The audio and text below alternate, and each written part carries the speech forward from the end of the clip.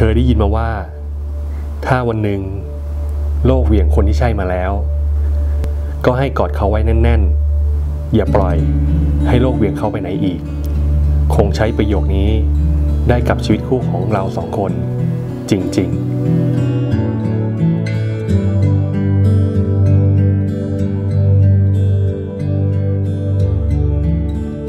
ก็อยากจะขอบคุณหนูนะที่ดูแลเขามาตลอดรักเขาคนเดียวจริงใจกับเขาก็เพราะทุกเรื่องเธหอนูรักหนูนะคือค่ะรักเหมือนกันครับลมหายใจเธอคือทุกสิ่ง ให้ทิ้งอะไร ก็ยอมทุกอย่างจากนี้ ใจฉัน